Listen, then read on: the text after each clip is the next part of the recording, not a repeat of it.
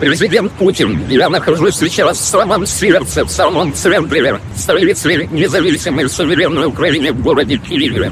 Сегодня 13 февраля 15.00 по киевскому времени, воскресенье, заморились передовой Александра Стратегического провинция, раньше советского времени, оно называлось Октябрьской.